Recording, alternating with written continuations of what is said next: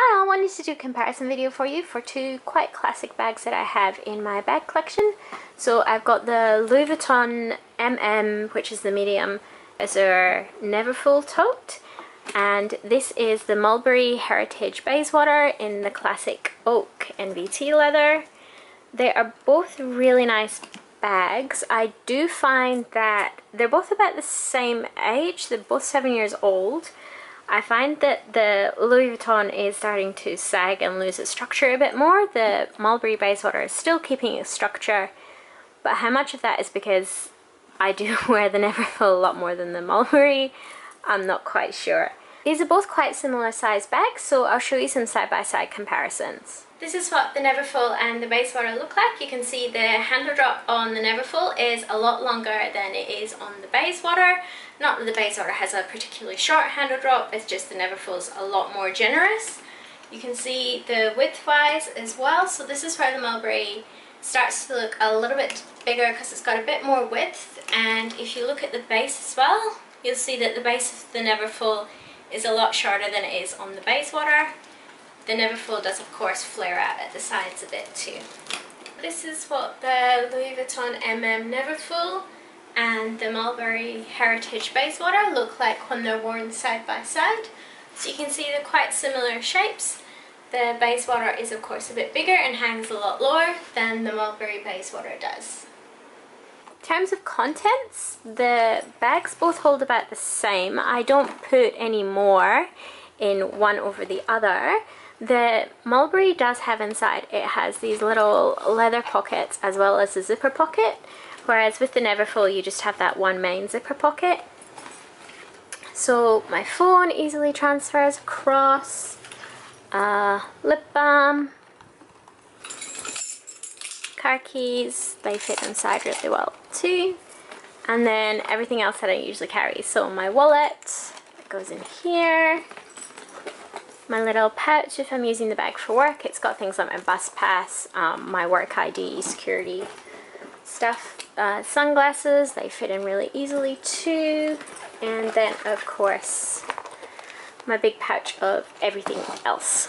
So like the Neverfull, the Mulberry fits it all. They both carry about the same the one consideration that I have is the Louis Vuitton Vachetta is something that you need to take care of in the rain. You can see I've got some watermarks on it. Um, I did a wear and tear video for that that I'll link above. The Mulberry, because it's the vegetable tanned leather, I am worried about watermarks on this. It doesn't actually have any watermarks on the outside, but you can see some on the inside. So this is the inside. You can see just down in the bottom there, there's a little bit of water residue. I think it's just from condensation from my water bottle. Both bags have the ability to cinch and pull in the sides, so you can do that inside the mulberry here. I don't really mess with that all that much. Um, it's a little bit easier on the Neverfull because it's on the outside. And this is a way that you can make the Neverfull more secure, so you can pull the sides in so that the top opening is less and then you can also clip across so that it's kind of sort of secure. You do still have a gap there though, whereas with the Bayswater you can actually put the flap over and then when you lock that turn lock closure there, no one's going to be able to get into that bag. So if it's a security thing, definitely go with the Mulberry. In terms of use, I did mention before that I use the Neverfull a lot more than the Mulberry.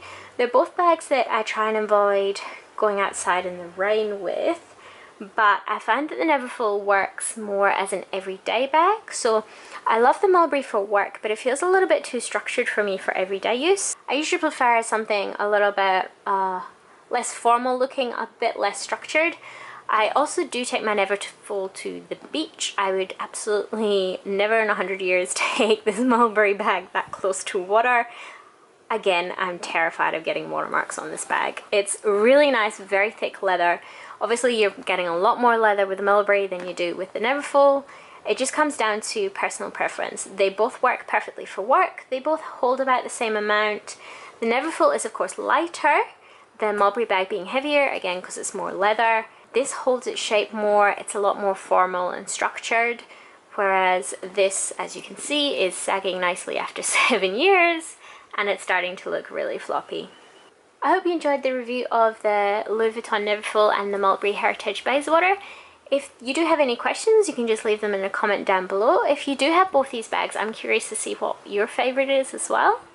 Um, if you did like this video, you can give it a big thumbs up. I really appreciate when you do that. You can hit the red subscribe button if you haven't already and you can follow along. I upload a new video every week. And thank you very much for watching.